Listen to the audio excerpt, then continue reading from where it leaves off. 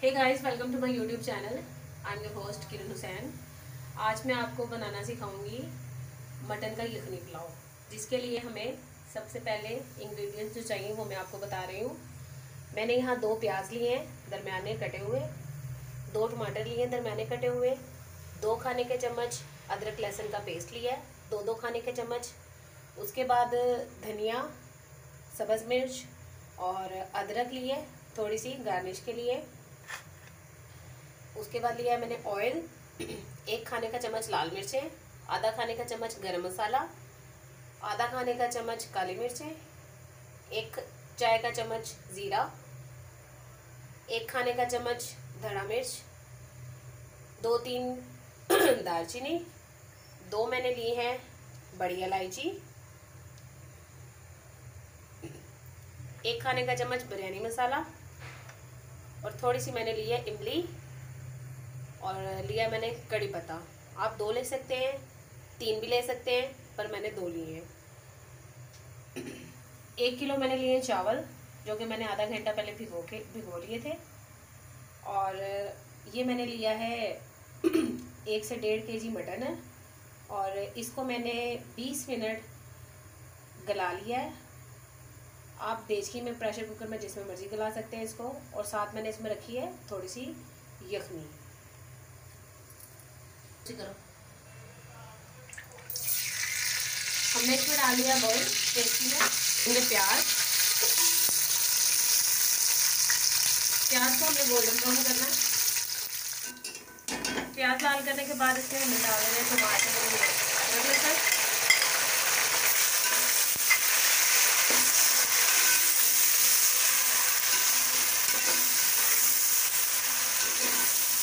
उसके बाद उसके बाद जो हमने ये मसाले तैयार किए थे, सारे ये डाल देने इसमें।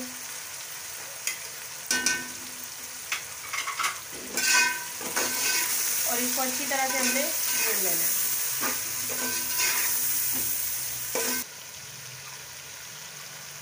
एक चीज़ इसमें और डालनी थी, मैं आपको बताना भूल गई थी। मैंने लिया है एक खाने का चम्मच अचार मसाला जो है वो भून चुका इसमें मैंने डाल देना है अपना यखनी वाला मटन मैं इसमें पानी नहीं डाल रही, क्योंकि मैंने यखनी में ही इतना पानी डाला था कि इसमें मेरे चावल जो हैं वो पक जाए। यखनी में मैंने तकरीबन दो बाउल के करीब पानी डाला है। मतलब ये दो बाउल बनते हैं आपके छः गिलास पानी।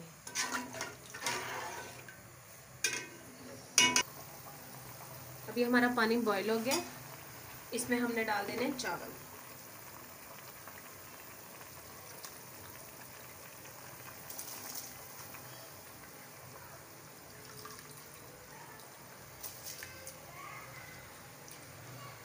आप आप ये सोच रहे होंगे कि मैंने अभी तक इसमें नमक तो डाला नहीं है।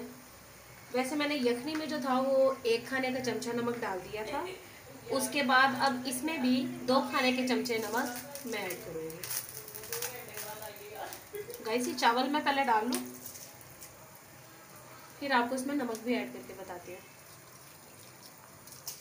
अब हमने इसमें दो चम्मच खाने का खाने के चम्मच नमक डालना है, दो।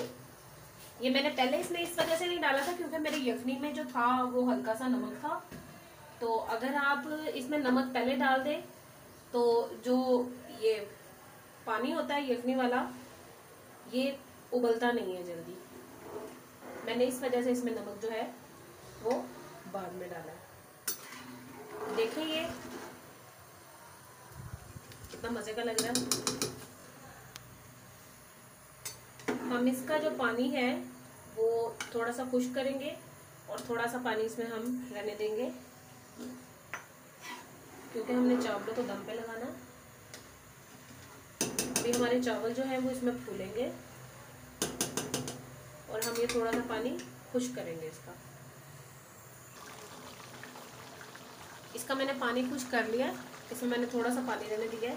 मतलब कि आधा ग्लास पानी मैंने इसमें रहने दिया है। और अब मैं इसमें डालूँगी अपना धनिया, हरी मिर्चें और अदरक जो मैंने ब्रिक काट के रखी हुई थी। ये डालने के बाद मैं इसे रख दूँगी दस मिनट के दम दस मिनट का दम देने के बाद अब मैं इसे खोलूँगी।